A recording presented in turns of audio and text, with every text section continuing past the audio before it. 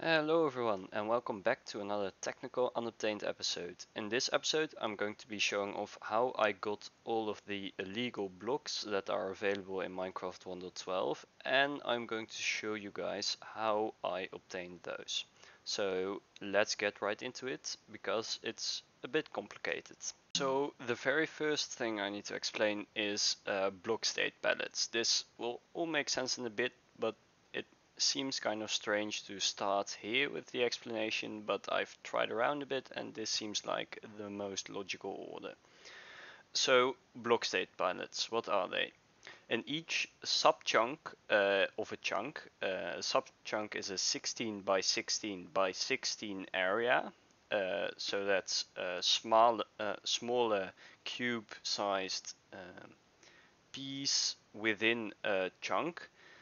That's the unit in which blocks get stored in Minecraft. So uh, each uh, subchunk has a way to store particular blocks.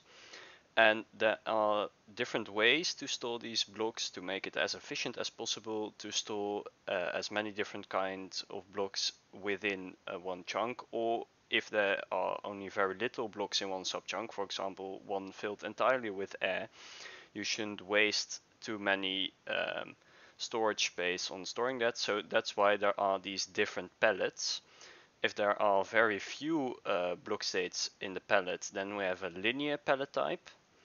Uh, if there are 16 through 256, there is a hash map palette uh, type, and when you have more than 256, you have the registry palette type.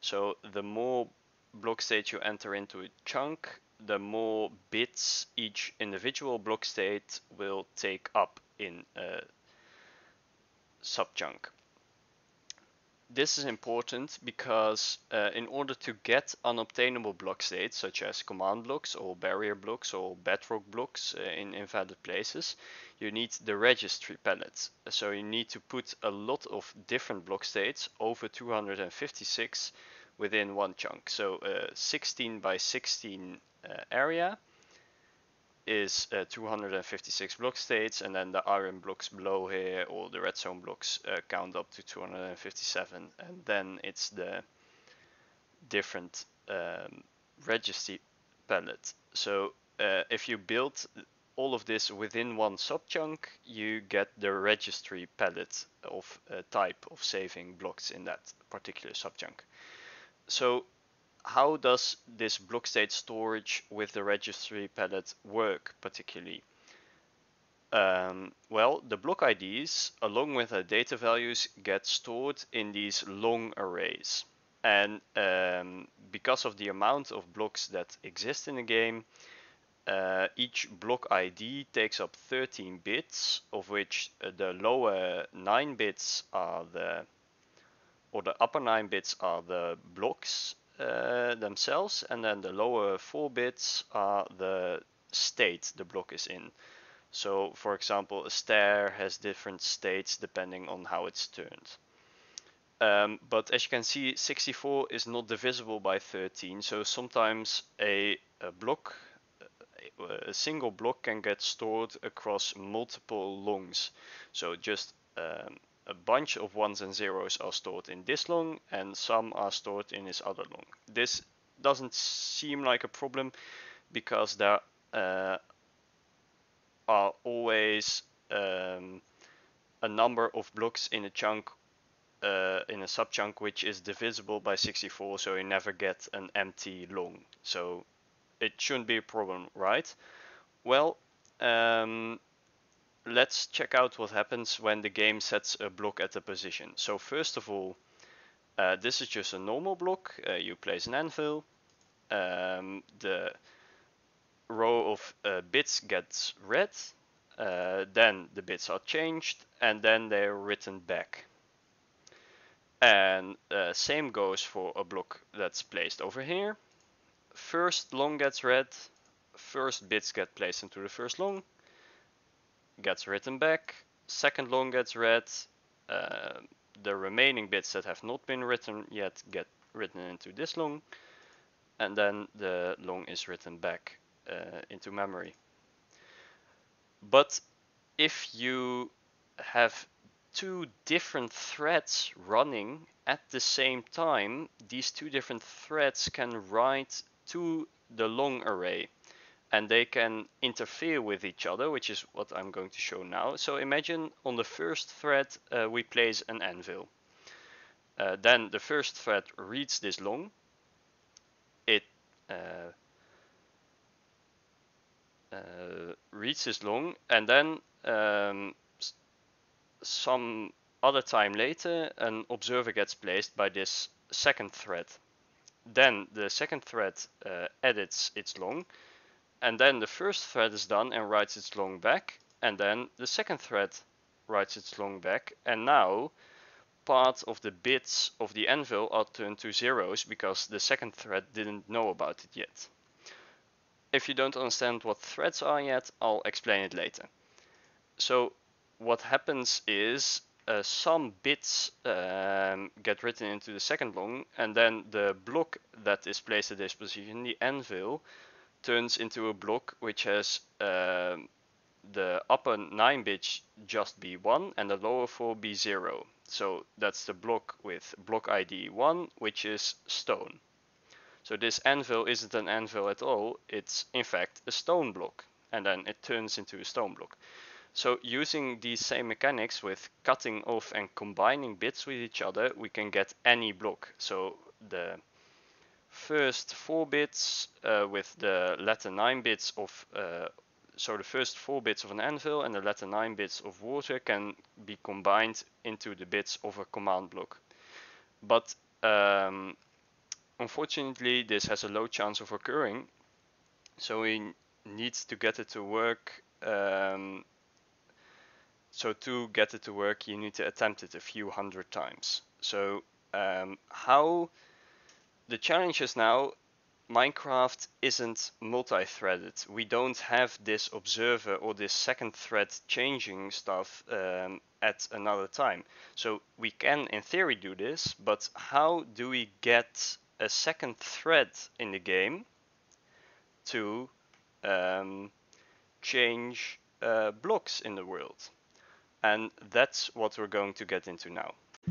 So this method to get uh, these multiple threads in your world is called um, generally async observer exploits or threadstone, which is a play of words uh, combining redstone and multi-threading.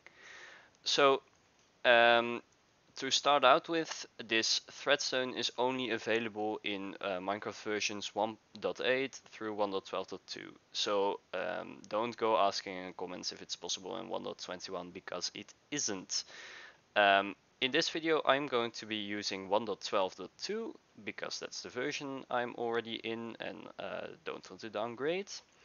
And I'm going to be using a particular method of getting these async observers called Void's synchronized method. So um, shout out to Void, he is I believe a Chinese technical Minecrafter who discovered this uh, rather simple method of getting asynchronous observer lines, which I'm going to explain in a bit. And uh, further credits go to Myren in the Threadstone Discord because he um, helped me out a lot with uh, different problems I had while running this contraption. And he generally just knows a lot about uh, Threadstone. And uh, I'm not going to be talking about the history of the async observer exploits because there have been different methods discovered before this uh, particular synchronized method but I'm not going to be going over them in order to keep the video uh, as short as possible, but still going to be really long, but as short as possible. But that history is available on the Threadstone wiki, so um, you can find that in the description probably. So uh, I'm going to be giving a general overview, and if this sounds like gibberish, you don't need to worry. So when a stained glass block gets placed or broken in world, it will start a new thread to check for beacon blocks under it and change the color of beacon beams. This causes inspections to blocks uh, of the world to happen on a thread parallel to the main thread. And under special conditions, this may load a chunk on the beacon thread and cause terrain population to occur on the beacon thread. So if this sounds like gibberish, uh, you have to listen to uh, the explanation I'm going to give next. So first, let's start with an explanation of threads. We know we need uh, multi-threading in order to uh, get block state corruption to work. So we can use that to get our illegal blocks in the world. But what is multi-threading precisely? Well, Minecraft is usually single-threaded. So uh, first I'm going to show how single-threaded code works. So for example, powering a redstone wire in games, in the in the game, first of all you uh, turn on a lever and that lever gives out block updates. So this redstone wire here is um, receiving a block update. In reality it's a bit more complicated but uh, I'm simplifying here. So the redstone line receives a block update. Then when uh, that's done realizing that it's got a block update, it has to check if it is actually powered. And it realizes it is powered because this lever it, next to it is turned on and then it changes its power level to 15 and then uh, this redstone wire goes and updates blocks around itself and this redstone wire is updated it checks if it needs to be powered and it turns on uh, power level 15 etc if you have um, multiple threads it means that these operations aren't just in one line. So you need to imagine this is some time and then uh, a couple of microseconds later this happens and then this happens and then this happens and so forth. But multiple threads means that you have multiple um, like cores in the CPU uh, calculating processes simultaneously and uh, changing the world simultaneously. So you have multiple of these lines of operations following each other running at the same time and they can also be influencing each other because they're both running in the same world essentially. So uh, as I said usually Minecraft is single threaded but the exception is beacons because breaking or placing stained glass block creates a new thread and this thread is created in order to investigate whether or not a beacon is below this glass block and if it needs uh, changing its color because when you place stained glass obviously the beacon beam might change its color. Um, so for some reason some dev added this in 1.8 and it has no particular reason because um, it could also just be made single threaded like everything else in the game. So as you can see uh, this is the piece of code responsible. Um, on the downloader executed thread, so on uh, another thread that already exists in the game, um, this piece of code will be run. So it's kind of weird because this code does no downloading and no executing, but it's run on that thread anyway for some reason. And then um, let's take a closer look at this because um, it doesn't sound like that's that useful for us because we need block changes to happen in the world and these threads only check blocks and they never update or change any blocks in the world so we can't get our block state corruption to work right? Well do they really? Because if we can get a beacon thread to populate a chunk somehow we can get block updates because when a chunk is populated, it places these, it has a chance to place these waterfalls which send out block updates. And these can be observed with observers. And then we can just make a long line of observers and um, use these block updates, right? Well, then we have changed the problem in uh, getting a beacon thread to populate a chunk. And that's not that easy because as you can see uh, if you have stained glass, it only checks blocks below itself. So even if it's next to, next to a chunk border, it won't load the chunk next to it in order to um, change uh, or check any blocks there. So generation can, in theory, never happen on a beacon thread, right? Because it is not going to happen if it's going to execute changes in its own chunk and in order to start changing that chunks need need to be loaded right but luckily generation is weird in 1.12 and um, that's what I'm going to explain next. So population in 1.12 can be abused for our goals because um, when a chunk gets generated, it will be at first unpopulated and it does not generate all trees and structures and those waterfalls I talked about before. That That's what uh, populated means. But when a 2x2 grid in the positive x and z direction is um, loaded, then the center square within that 2x2 of chunks uh, mostly will be populated. So trees will be placed here and spawners and ores, and all of that kinds of stuff. Um, the thing is, um, update suppression exists. Um, so if a player action causes a chain of several thousand block updates, then the block update chain terminates, but the game continues running as normal. So that's actually very useful for us. And now I'll show uh, update suppression in action real quick. So update suppression is fairly well known in the community at this point, but to be thorough, I'm going to show it off anyway. Um, so what happens is uh, with update suppression, um, too many uh, operations happen at once essentially and that can allow some operations to not be processed. So if I break this iron block, then um, it first, uh, the iron block is broken. Then first the rain, uh, rail to the side here is updated, which then updates this rail and this rail and this rail uh, all the way through until it reaches uh, this place here, where there's just a ton of rails. So all of these rails uh, are updated before um, this comparator is updated. And because there are so many rails, the uh, update chain terminates, uh, essentially a, sort of small crash happens in the code. And then this uh, comparator here does not get updated. And that means that it stays floating here. But this can also happen in other parts of the code, which is what we'll use to get invisible chunks.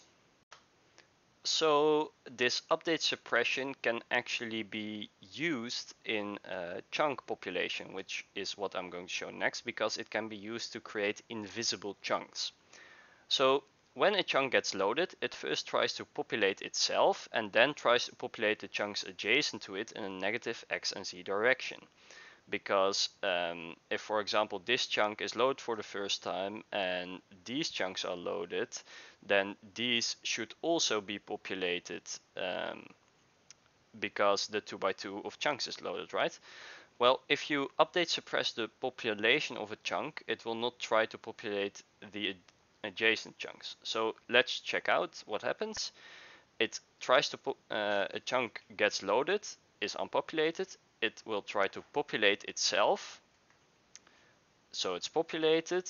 And if we use that population to cause an update suppression, then um, these three chunks, which should now be populated because the 2x2 grid in the positive x and z direction is loaded, does not get populated because this is update suppressed and the piece of code that needs to be run in order to um, populate these chunks actually never gets ex executed. So we can get fully loaded chunks which are unpopulated. And these unpopulated chunks are invisible because they are not sent to the client by the server or the internal so server. And I've shown this behavior before in uh, episode 6 of this series. So if a chunk in the positive x or z direction of these chunks is reloaded, they will be populated. So if either of these three chunks is um, reloaded somehow, then the check is run again for population in the negative x and z direction and these chunks uh, will get populated and they might actually place liquid pockets. So now we have changed the problem from generating or populating chunks on the beacon thread to reload a chunk on the uh, asynchronous beacon thread to get the thread to make block updates. Because if we reload a chunk, we can also populate a chunk that's next to it and is invisible. And then we can uh, get it to place a water source and that water source gives block updates which we can send into observers. And that's actually another special case. Um, and using chunk save stating, we can get these uh, invisible chunks to work mul multiple times. Uh, we don't need to use new chunks every time because we just save state them as ungenerated or unpopulated, for example. And then we can use that to get um, asynchronous observer lines multiple times. So now I need to explain instant tile ticking and instant falling because these uh, are actually quite important for uh, the exploit we're going to use. Because when a liquid pocket is placed into the world, um, a global flag called instant tile ticking is enabled to make it look like it was done flowing before you arrived in chunk. So liquid pocket get pla gets placed in a wall and then it needs to flow instantly down because otherwise you fly into the chunk and you see a waterfall flowing down as if it wasn't there before and it needs to look like it was always that way of course. So um, this flag is activated and the instant falling flag is enabled to prevent you from seeing sandfall. So whenever the population of a liquid pocket is suppressed um, just like how the population of the chunks in the negative x and z direction is cut off, is not handled, the processing of the disabling of these two flags is also not processed. It's also cut off by the suppression, which means that these flags, these instant tile ticking and instant falling flags will be on all throughout the world. So what do these flags do precisely is uh, the question now and I'm going to show you that in the next clip. Okay, so now we're going to be explaining the instant falling flag and the instance uh, tile tick uh, flag. So first of all, everything's normal. I've uh, disabled nothing uh, yet and sand falls normally. But um, when running these carpet commands, which I'm just using to show it to you guys easily, um, I can turn both of these flags on. And um, now as you can see, everything happens instantly essentially. So all of the tile ticks gets processed instantly. Same goes for sand. Um, the second it is placed, a tile tick is placed on it uh, to start falling and that's instantly uh, processed and then it falls uh, down uh, because of the instant falling flag. If you have both of these flags enabled you can uh, create um, devices like this which are super simple sand dupers which use um, the TNT duping mechanics to quickly um, duplicate sand as you can see works very well. And then um, you can also uh, very easily update suppress using this because if you have a dispenser with a water bucket in it um, if you bud it and then break a block next to it it will update suppress so it's uh, then it powers and then it will update suppress because um, the water bucket is placed and then it already sends out updates to this dispenser which is turned on and uh, the water bucket hasn't been removed yet and then it plays the water block update and so forth until it just um, update suppresses so as you can see a lot of uh, water placing sounds and um, remove the water again and now if we reactivate it because the water isn't gone yet we can also do stuff like this. And um, the most important case for us is uh, the case with observers. So if I place a block in front here nothing happens. At least seemingly nothing happens but in reality a lot of stuff does happen. So um, what's going on here? Well, let's do the example with one observer first. So you place a block, it turns on, and then it schedules a tile tick to turn on, uh, turn off, and then that gets executed instantly and it turns off right away again. But what happens when you have two observers? Well, then this one turns on, it sends out block updates. This one realizes, oh, something changed. I need to turn on too, and then it turns off. And then, only then, does this one turn off again, and then this one turns on and off again. So it essentially doubles the block updates each time. So how that works is, first observer uh, has two changes because it turns on and off. Second one has four on, off, on, off. Next one, eight. Uh, then 16, 32, 64, 128 and so forth, just the powers of 2.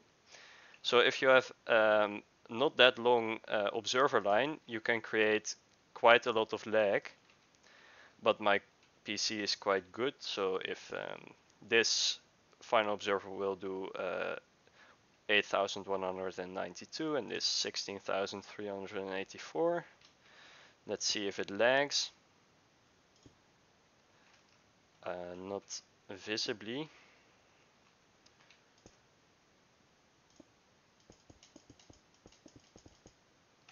Okay, let's add just a few more.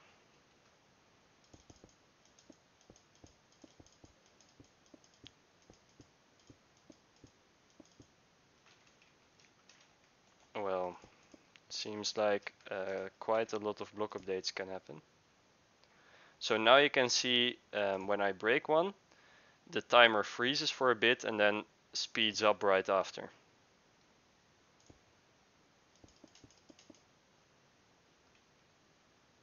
So that was quite a lag spike. So um, this is important for us because um, from one block update, from the waterfall flowing down, we can essentially get infinite block updates through just making the observer line longer. But you need to watch out when instant falling uh, or instant tile is on because uh, you can get a lot of block updates real quickly and if you accidentally uh, activate this on the main thread it can crash your server. So let's now take a look at um, how the setup I'm going to use works precisely. So how does the setup work? Um, because we still have the problem of needing to reload the chunk on the beacon thread. So this is a problem uh, because it's hard because the beacon thread will only check a couple hundred of blocks before terminating because it only searches downward and you can of course have no more than 256 blocks in a column in Minecraft because that's the world height in 1.12. So even if the chunk uh, and another problem is that even if the chunk the beacon thread is in is scheduled to be unloaded, um, for example, because a player is walking out of it or the autosave uh, hits, um, then the beacon thread will just continue checking blocks because it's of course running on another thread. And when it checks such a block, the scheduling of the unloading of the chunk is cancelled, meaning the chunk will not be unloaded and we need to unload the chunk in order to be able to reload it and cause the population. And that is where the core of the synchronized method comes in because using one uh, single trick we can actually um, get rid of both of these issues that the thread terminates very fast and that it um, cancels the unloading of the chunk. Because um, there is something interesting when adding um, a scheduled task if we chase down all of the calls in the code. So first of all, we have the add scheduled task runnable that's called uh, when we um, make the beacon thread. And then we go to Minecraft server add scheduled task and then um, and it Minecraft server call from main thread, which is called here we see this, this synchronized block. And this is very important um, because it means that if there are multiple threads actually trying to go through this um, block, um, because um, it is it not the main Minecraft thread, uh, it is not because it's a beacon thread and the server is still running, then it goes through this piece of code, which is the synchronized block. And if there are multiple threads trying to run this code at the same time, um, they can't because only one thread can run this code at the same time. So if we have one thread going in, only when it's out again can another thread get in. And all the threads are just trying to get in here as fast as they can. And um, because there is another thread in here, most of the time they will fail. So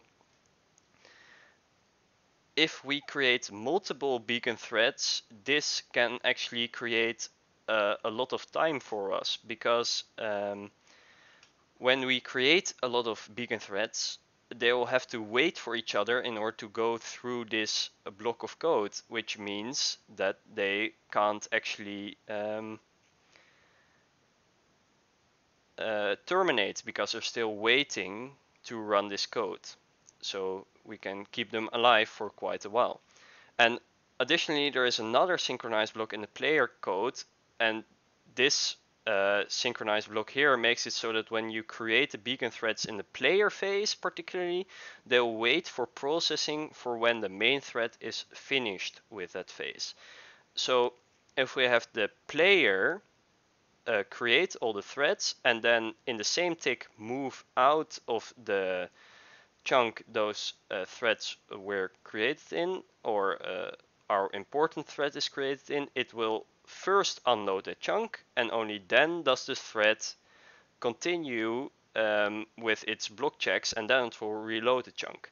So because of this synchronized block here, the threads can stay alive for a while.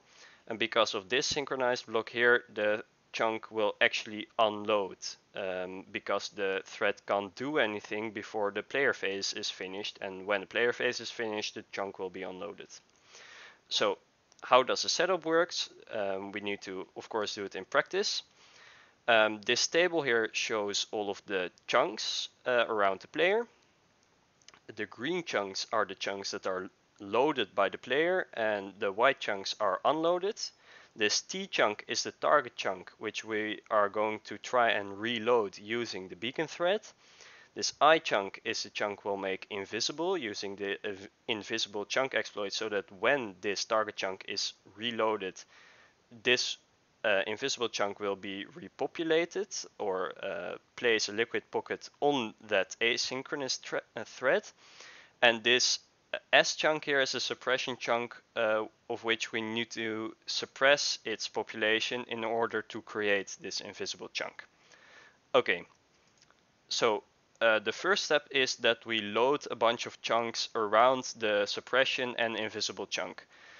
Um, and this is so, so, that the suppression chunk actually has that valid 2 by 2 in order to uh, populate itself. And the invisible chunk also needs to be loaded in order to be able to become an invisible chunk.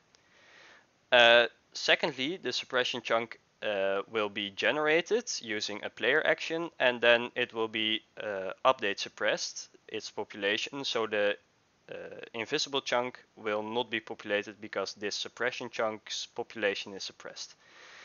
Um, and now we'll go into a single tick uh, because a lot will happen at the same time here because all of uh, the following slides will happen in one singular tick first of all, the player breaks 2000 glass blocks in some unimported chunk, could be this chunk or this chunk. It's really doesn't matter. And um, he does this to create a large amount of threads that will delay the important thread, which will try and reload the target chunk. And because they all need to go through the same synchronized block. Uh, after that, the player moves and he schedules the unloading of a row of chunks, including the target chunk. So uh, first, all of these were just um, loaded, and then um, there will be scheduled to unload, and then uh, the player presses a button to reload all of these chunks. So only this chunk has to actually unload. And then in the very next tick, chunk is unloaded and then the uh, beacon thread uh, can actually run again because the player phase is finished and then the target chunk will be loaded on the beacon thread because the chunk it was previously in was unloaded because it was not actually doing any actions in this chunk uh, while the unloading of the chunk was going on. And this finishes the 2x2 grid here for um, the invisible chunk to populate and it will create an invisible, uh, it will create um, a liquid pocket which we can observe using observers, um, the block updates, and we can use that to um, create uh, illegal blocks using word tearing as I showed in the first PowerPoint. So now we're at the place where it's actually going to go down because this is the setup built up in my world. So um, you can see a bunch of concrete wires with different colors and uh, let's go over them one by one. Um, you need to imagine this is kind of the chunk table we have over here and uh, same things are going on here. So in this um, top left corner here we have the blue line which uh, the player activates uh, the first, uh, very first line which loads chunks around the suppression chunk and then we have uh, the purple line, which will actually populate the suppression chunk, which is right over here. Or uh, it's actually over here. Um, so then uh, this invisible chunks population will be suppressed. Uh, because of uh, this um, suppression chunk here places a water source over here which will flow down here and um, through this dispenser causes an update suppression while also uh, placing save state books into these chunks on instant tile tick. Uh, by the way, this setup was uh, designed by Void too, so um, I only made some minor changes in order to get it to work with render distance 16 instead of 10. Um, after that, we should go back. Um, so this lever and then that lever, because then we have created the invisible chunk. Then we'll go to lever 3, which will update uh, this observer here, which uh, as we have seen before, can create a large lag spike, and this is way more observers than shown in a video before. So this creates a very long lag spike of um, multiple seconds, so 8 seconds or something.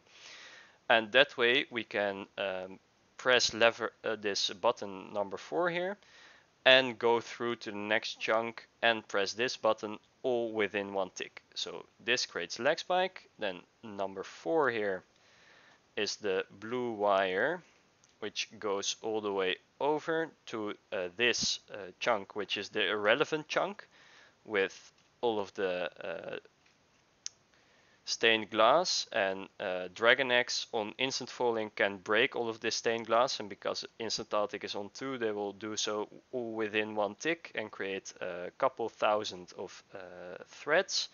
And then this is the target chunk which will be reloaded and this was the invisible chunk. So when this chunk is reloaded, this chunk will be populated and create an async line because um, this green wire over here, by the way, is the chunk that re uh, is the line that reloads uh, the chunks that don't need to be unloaded.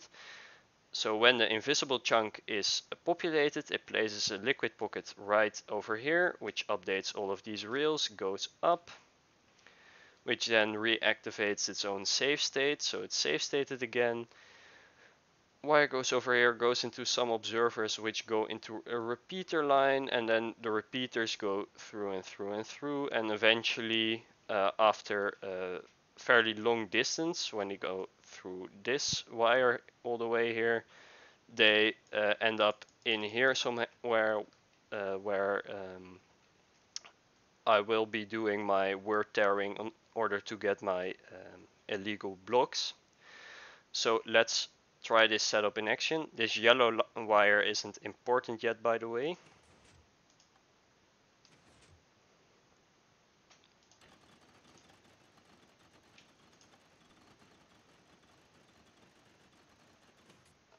It's always a bit nerve-wracking when uh, trying this because um, this exploit doesn't have a 100% chance of working.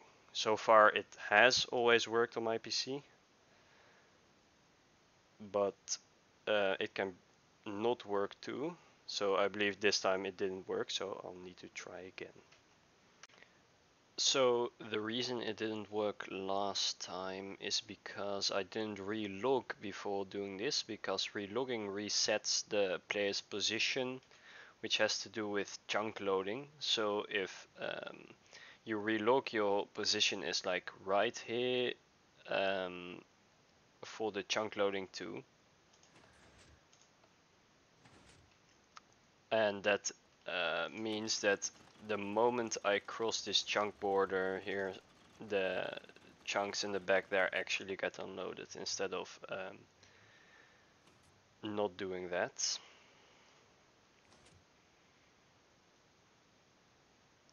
So it seems like it worked because the observers turned on this time. And um, now we need to walk over here in order to unload everything properly. This device over here, by the way, um, should be able to tell us if everything worked correctly. Yes, it's duplicating sand.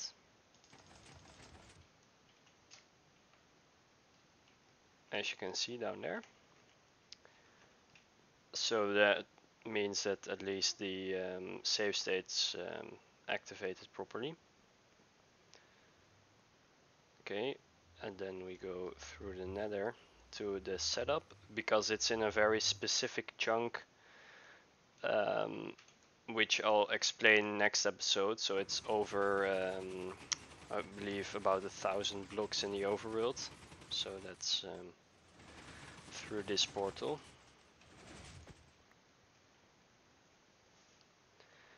because that chunk has some special properties.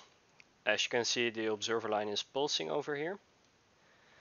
Um, on the async thread that's why the game isn't actually lagging now because this very fast pulsing is actually happening on another thread so it doesn't lag uh, the other the the main thread.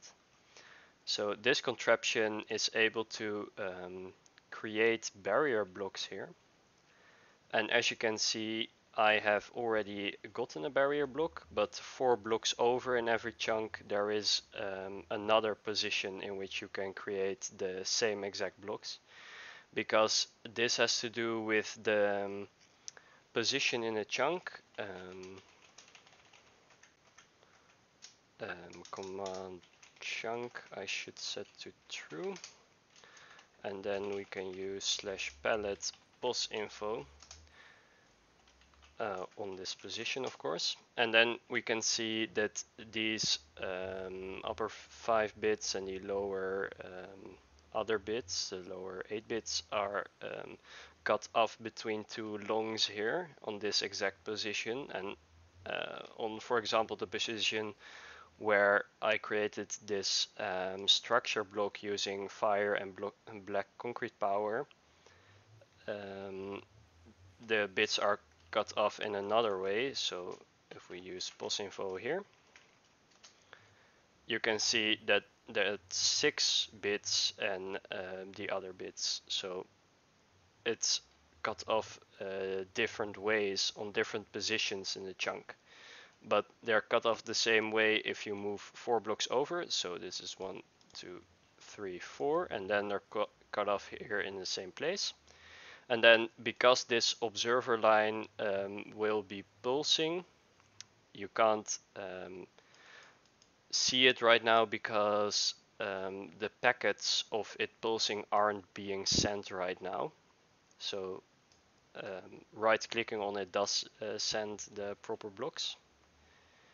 So if I were to now um, update this piston, we can get this clock running and then eventually um, as it states here, iron trapdoor plus the moving piston block or the block 36 block can create um, the um, barrier block.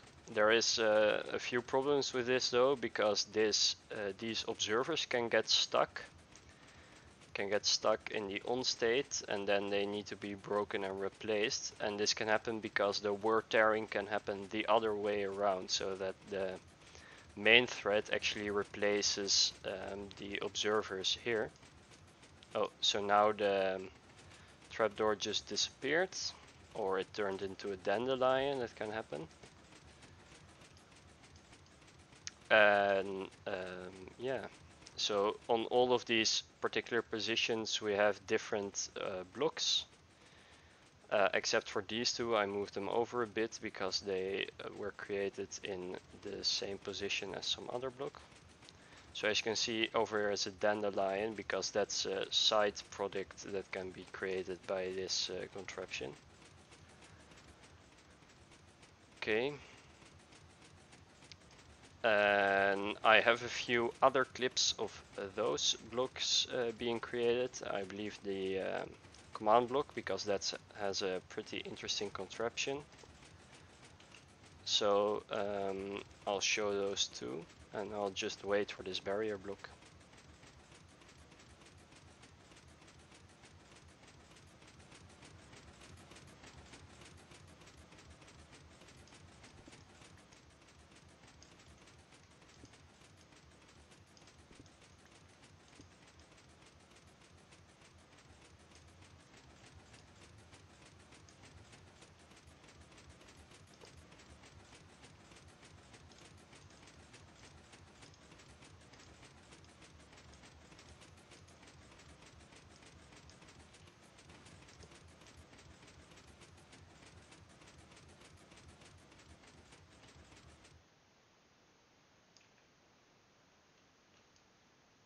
Okay, so now the barrier block appeared and that's why the piston clock stopped.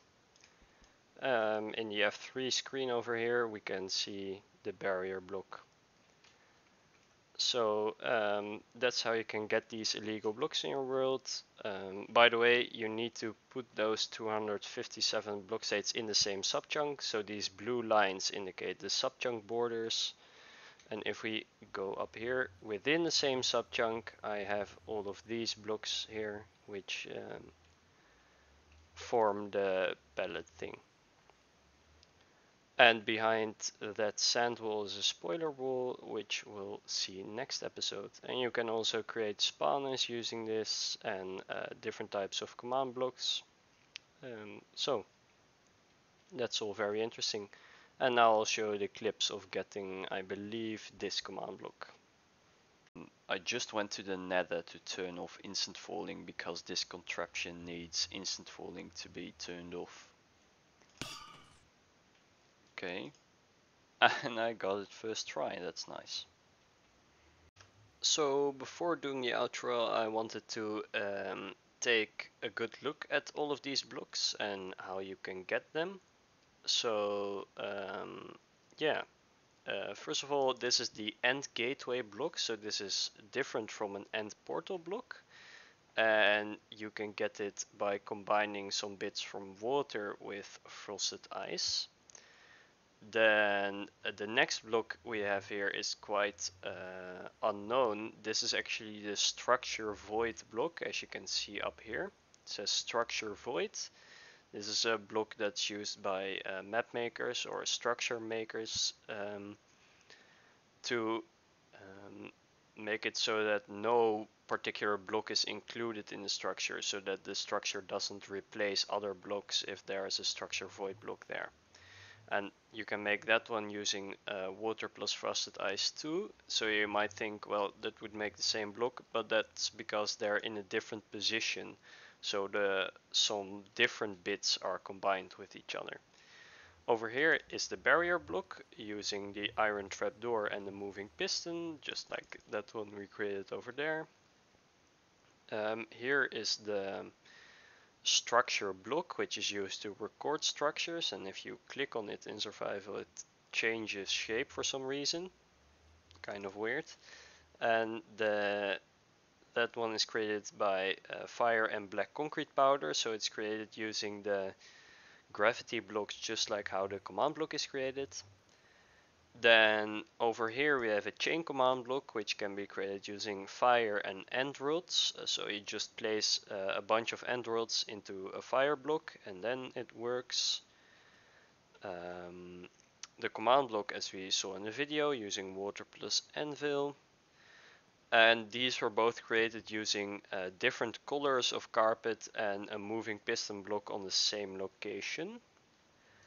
so uh, yeah, I believe that was on the spawner blocks location. And then over here, uh, the re repeating command block, which is used, um, which is created using grass and grass path blocks. So you um, have a shovel in your main hand and uh, grass in your offhand and you hold left and right click on this block while an uh, observer line is pulsing next to it and then we have the um, spawner which is fittingly created using moss stone and a moving piston um, and uh, of course you need an async observer line uh, next to it pulsing in order to actually get the spawner. So I hope you guys liked this episode as much as I liked making it. Um, I'm sorry it's probably going to be a bit long because there was just a lot of stuff that needed explaining. Uh, so I hope you guys have a better understanding of how all of these things work now. And um, if you have any questions, you can leave them in the comments. And if you're new here, um, please con uh, consider subscribing because I'm definitely going to continue uploading. So um, subscribe if you don't want to miss out on new videos and um, of course like if you like the video. Have a great day. Bye bye.